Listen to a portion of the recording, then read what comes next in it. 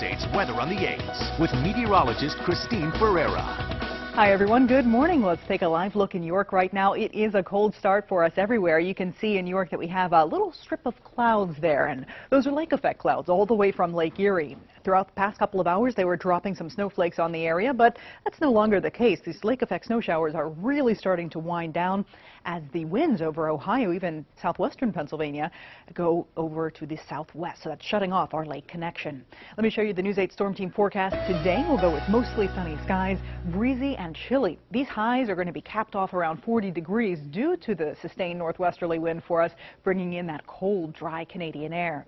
Tonight, mostly clear, even colder than this morning, 22 to 26 degrees overnight. And this is because tonight our winds will be light and the sky will stay mostly clear. How about tomorrow? After a sunny and cold start, we'll keep the sunshine around in the afternoon. That'll help boost temperatures to 42 to 52, 48 to 52 degrees, I should say, with southwesterly winds.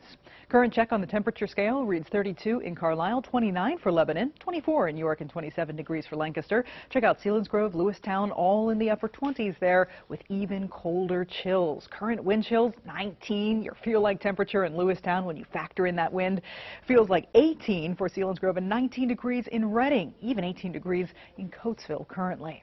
Super Doppler 8, the trend is toward decreasing snow showers and decreasing clouds. We had quite a bit of cloud cover, even these flurries overhead just a few hours ago, but now they are quickly dying off. So today we'll go with mostly sunny skies. Cold though, remember that. And then high pressure starts to build in from the west later today and tomorrow. And that's what's going to eventually kick up the temperatures back to 50 degrees.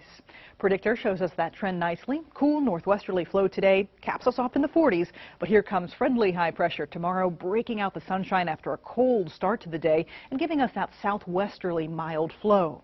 As we head into Friday, there may be a few more clouds that we add to the weather picture here with a weak incoming system but they're not going to hamper our warming. Friday's highs will be seasonal in the mid 50s. The extended forecast here brings you 50 degrees tomorrow, 54 by the end of the work week. Check out the weekend. We continue to warm 56 degrees for Saturday, 58 on Sunday, and there's a 60 even in there, a little treat for you on Monday. But Monday holds the best chance for some scattered showers ahead of our next cold front, which will drop temperatures back to the 40s by midweek mm. next week.